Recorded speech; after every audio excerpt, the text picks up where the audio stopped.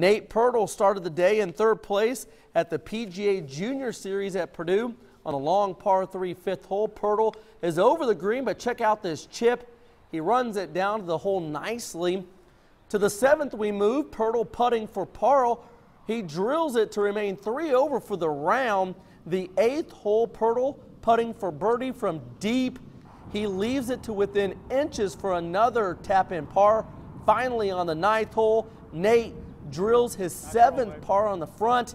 He made the turn at three over. Pirtle finishes his day with an 80 and tied for 14th place in the tournament.